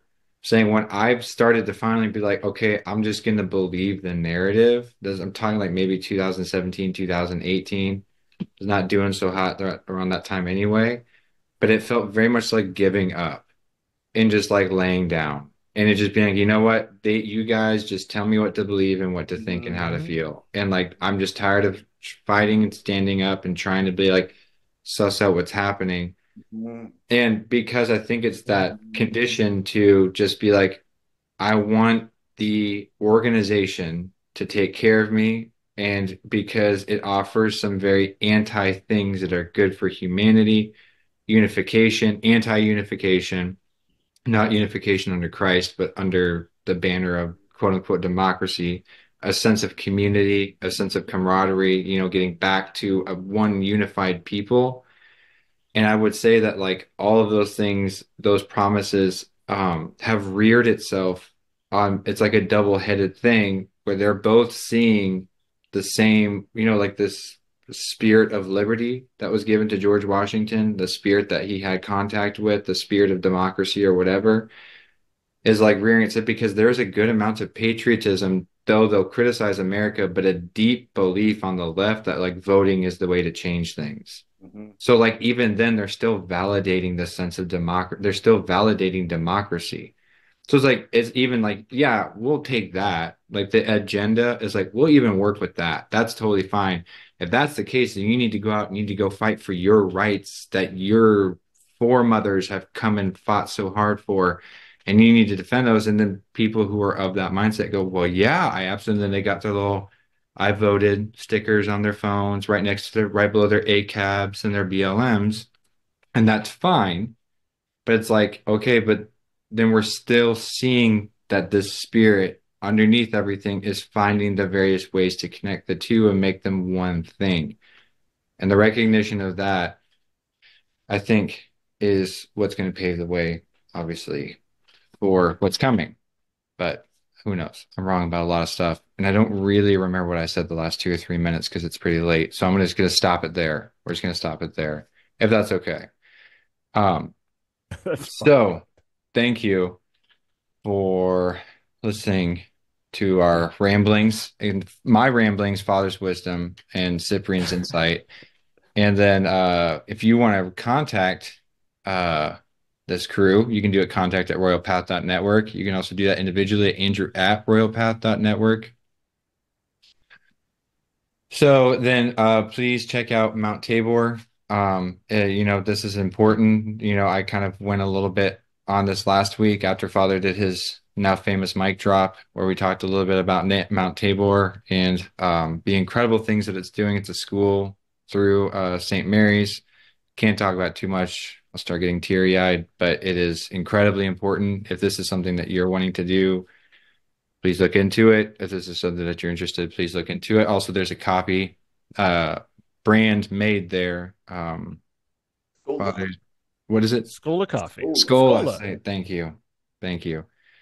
Meaning school. Meaning school. Yes, I know. I know. It's I I knew it had something to do with that. Yeah. Um, then uh if we mention music, we try and get into a playlist uh on Spotify or We Apple Misfits Music. today. I don't know if I'm going to put Misfits on there. I don't know. Like Okay. that's a little bit like You kind I- of have to. That's like, yeah. look, if you're gonna put Celine Dion there, the the, Yeah, the stick fair and enough. wife of the devil herself, like That's true. Fair enough. That is true. Yeah, fair enough. Fair enough. Um, that's true. That's true. That's a good point. Um, so then, yeah, those uh, playlists, Jack, you're killing it with the um with the that was a really good one last week. Yeah. Yeah. yeah, very good. I mean, every week I'm just like, man, okay, yeah, really good. I it got it. Um, I think that's it. I think that's yeah. it. Thank you for having a good night. Oh, check out our merch store if you want to. We don't see any of that money. Goodbye.